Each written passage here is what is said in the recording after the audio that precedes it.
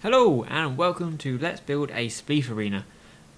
For those who aren't aware, Spleef is a game in Minecraft which involves knocking your enemy into lava by digging away snow or some other block from underneath him in an arena with like lava underneath a thing. And that's what I'm going to try and build. Originally this was going to be a, a group project and as you can see over here this is uh, the beginnings of said group uh, project, but I've got a weekend of listening to the cricket and football and on the radio, so I decided to sneak onto the server and do it whilst nobody else is around. Plus, when you try and make one building with four people, designed by committee, uh, very rarely comes out with anything special. Now, I wanted this to be quite a. It's going to be a very ambitious project, my most ambitious project I've ever taken on myself. Um, because yeah, I'm I'm totally mad. Uh, originally, I was I the, the the kind of process in my mind of what it's going to look like. So you have to ah, project like this, you have to have a, a good idea of what you're going to build before you start building it. Um, I I haven't quite gone to the length of drawing out uh, drawings, architectural drawings, but you know it's been pretty close. Uh, I originally started thinking about a football stadium, maybe something like Old Trafford or Wembley or something closer to my heart, say the Madejski Stadium where Reading play. But then I like circles, and everything I build in Minecraft generally revolves around a circle. So I was thinking circular stadiums, and then I thought cricket grounds and the MCG, the Mel- Melbourne Cricket Ground in Australia, which is a beautiful stadium, seats 100,000 people, uh, should really be where the 2022 World Cup final is, should be held if uh, FIFA didn't decide to get bribed into giving the World Cup to Qatar. But then I thought mm, maybe maybe that's a bit bit difficult or maybe a bit, bit obvious. Uh, so I thought the Globe Theatre, another round building, more intimate. Uh, Shakespeare would be quite nice out of wood. Yeah, it could work, but then you know not ambitious enough for me. So I was thinking then domes. How about like a dome on top, and then somewhere in my mind, domes and globes turned into a sphere, which turned into the globe. Uh, so, yeah, that's what I'm going to do. Build a spleef arena inside a globe of with a, a proper, accurate globe of the Earth with continents and sea and everything. Which, yeah, ambitious project. And let's get started. Uh, first things first, I had to uh, kind of set out where it was going to be. Uh, I could have knocked down the old arena, but I wanted it further out from the land because it was going to be bigger, and it ended up being bigger than I even planned right now. Uh, so I had a, a big column of 2 by 2 going up from the seabed right up until where I thought it was going to end up, and then started laying out a 30 diameter ring, which would be the base of the lava pit. I used stone bricks here uh, because I felt well, I couldn't really use anything else. Couldn't use wood because it would burn. Uh, because you know lava and wood together generally create some sort of fire. So I went round with the circle diagrams. I've never used the kind of 4x4 middle uh, circle diagrams, so I've always used the single up uh, one thing, but apparently the 4x4 is supposed to give a better, a fatter circle so I thought I'd, I'd go with it, uh, and I did, and it also enabled me to have a, uh, a symmetrical door. Uh, I built the walls up a couple and then started to fill it in, which is where the lava's going to go.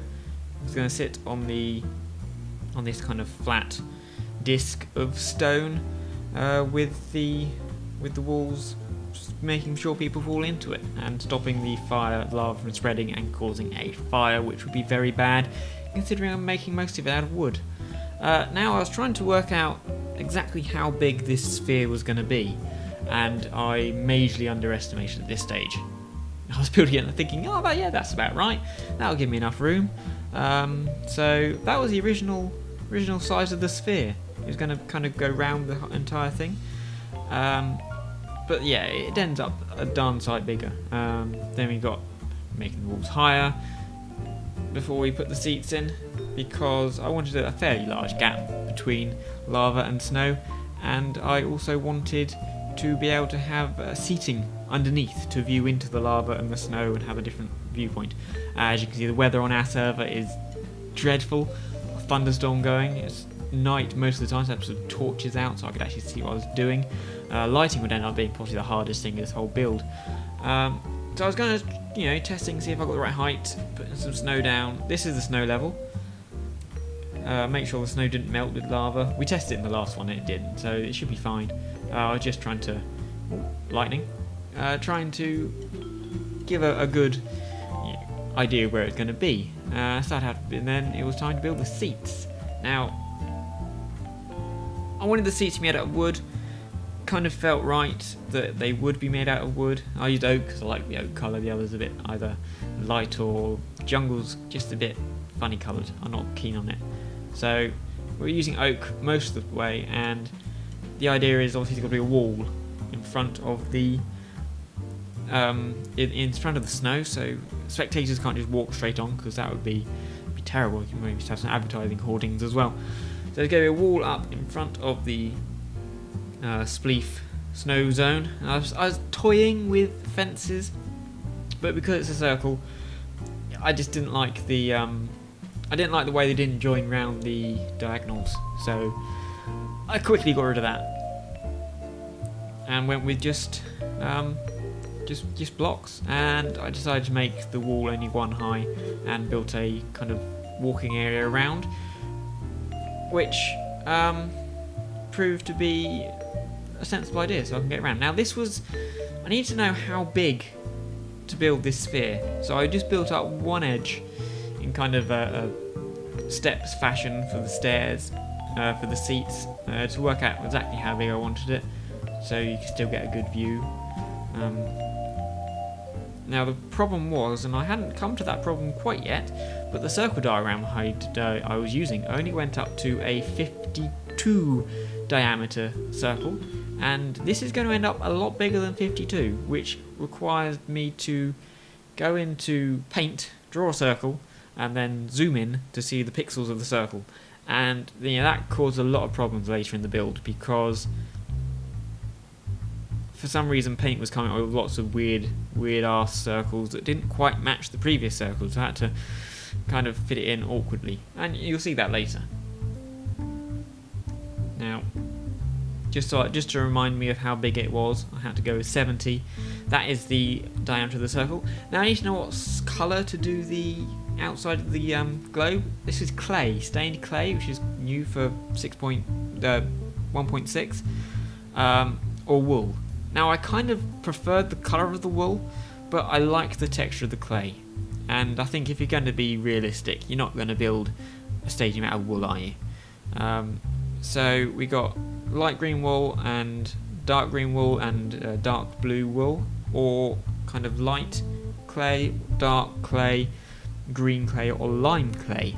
Now, I've already decided that I'm going to go for the light blue light blue clay I think looks best, and the uh, dark green. So we're going for that one, and uh, the the middle green there, not the lime green because that's just too too bright. Now it's time to build out around the um, the circumference of the top of the seats. I've done this and got it wrong, as ever. The amount of mistakes I've made in this building doing circles is ridiculous. The main problem is where they don't match, so you have to kind of build a block and then knock a block out to make it fit, and then you end up knocking the wrong block out, and you end up with a, which I did here. So I had to move it all along because I was knocking the wrong blocks out as I was building. Which, so, yeah, and this was using paint. This circle, so it looks a bit odd because I was using paint uh, instead of the circle diagram. Uh, so it kind of has like a pointy bit in the middle, but you know it works in the end. Okay, the wall, the, yeah, the, the kind of wall I had at the back was, I don't know why I ended up with that, but it ended up working well for lighting. As I said, lighting is a huge problem when you've got a big building, because trying to get the lighting to work without it just being everywhere is, is difficult. But I, I came up with some lighting solutions I was quite happy with, mainly surrounding this wall, which ends up at the back. Um, as you can see there's kind of what five a, a sheer bit of five at the back of the seating uh, so I carried on round the other side looking at the circle diagram every now and then because I kept forgetting. If you listened to me whilst I was actually building, all I was going was four, five, five, four, three twos, one, one, one, two, one, one, two, four, four, four ones, three twos, five, four. Uh, literally just going round and round in my head trying to remember the exact layout of the circles, which is a pain in the ass because I didn't want to keep having to look at, back at the diagrams. And in the end, I got yeah, I, I'd go to sleep at night and just have numbers going round and round and round and round and round in my head. But I got there in the end, and now this is just trying to set out the extent of the seating. The actual globe ends up being too bigger to give a kind of a, a breathing space between the uh, seating and the outside kind of skin. Around we go, keep on going round. Make hoping that it's gonna link up in the right place in the end, which is not guaranteed. And you can see in the background the old arena. This is a much better place for it because it is further out, so you can get a much bigger circle. The idea is the globe is going to be kind of floating in the water without any. So it's not a full globe. The bottom of the globe, I think Antarctica. Uh, the bottom of South America will probably is you'll go be underwater. But so it just like looks like it's just gently bobbing in the water. And this is the wall I was talking about. Just bringing it down at the back of the seats. Kind of is where the fat bit of the globe is as well. But it does turn out to be very useful. I don't. It wasn't a conscious thing to build it. It just kind of happened. Uh, but it ends up being very useful for lighting, which is important, and for kind of where the teams come out, where the person comes out for beginning their spleefing. Because at this stage, I really haven't thought about the actual spleef thing. I've got the kind of the drum in the middle with the snow and the place for the lava, but I haven't thought about you know the logistics of getting people to their areas and stuff yet because yeah that's boring. Uh, this took a hell of a long time, and I started building up from the bottom concentric circles so you get a cone effect going up. But as you see, that is 52, and that is where I started having to uh, leave my leave the circle diagram I found on the internet and go back to paint.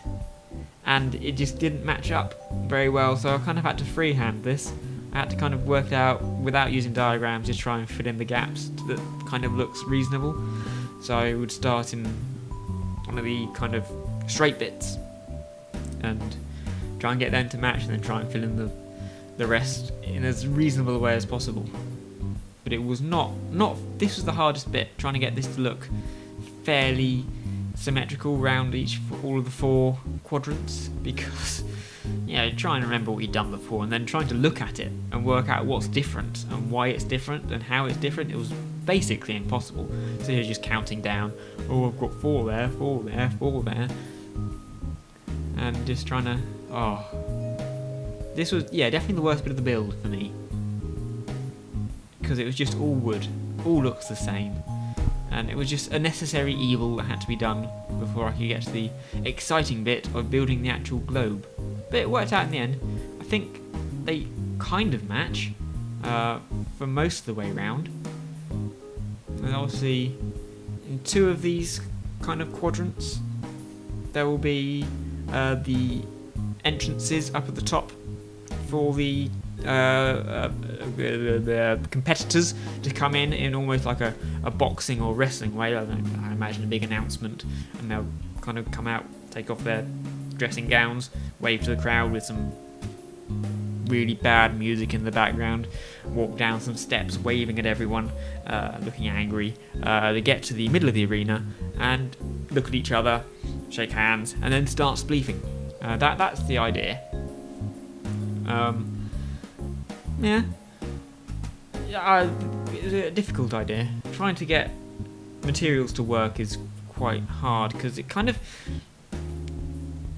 it felt it needs to be wood to be realistic because we got a clay thing with a I've got foundations of stone but then if you got a wood floor everywhere do you want to really then start using stone in there? Because is that it just doesn't feel right because you know stone and wood is going to fall down. That's too heavy. You'd need uh, need to have some sort of steel uh, RSJs in there, and well, they don't have girders in Minecraft yet. I'd like to be able to. I'd like girders. We're not in vanilla. You can put they're obviously mod packs, but building in vanilla is difficult because of the uh, lack of interesting blocks. Anyway, I carried on and finally finished the um, bowl, uh, and that's where I'm going to end this episode. Uh, next time, it is going to be building the uh, globe itself and an entranceway to get to it from the land, uh, a bridge over troubled water, uh, a bridge over water into it, a nice big grand entrance. So, yeah. So come back next time. Thank you for watching, and uh, goodbye.